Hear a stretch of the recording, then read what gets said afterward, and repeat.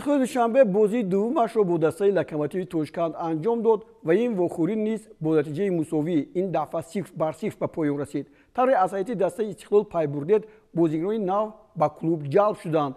Дар бораи идрис амину ки аз клуби марказии варзиши артиш ба истиқлол гузашт ва парвиз боқиёхунов ки аз хатном ба ин даста пайваст дар барномаи гузашта ба шумо ҳарф задем. Аммо омадани боз як бозингари дигар глеб грачов таваҷҷӯҳи моро ҷалб кард.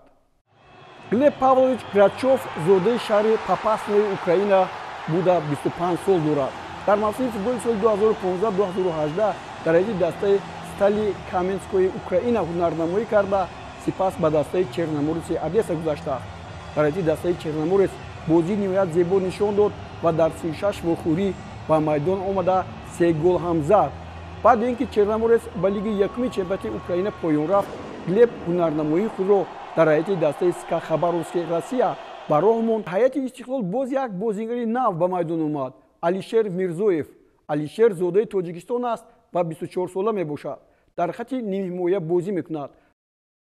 Расонаҳо дарак медиҳанд ки соли 2018 дар ҳайати истиқлол ҳузур дошт. Аммо баъд ба чемпионати молдова гузариш анҷом дод ва соли 2018 ба ҳайати сперенса ниспорени ин кишвар пайваст худи ҳамин сол дар чордаҳ вухӯрӣ ширкат карда як гол ба самар расонид дар мавсими соли 2019 ҳам ҳунарнамояш дар ҳамин дастаи сперанса идома дод. 16 бозӣ анҷом дода боз як гол дигарро ба дарвозаи ҳарифон зад. Соли 2020 ба дастаи зенити пензаи россия гузариш анҷом дод.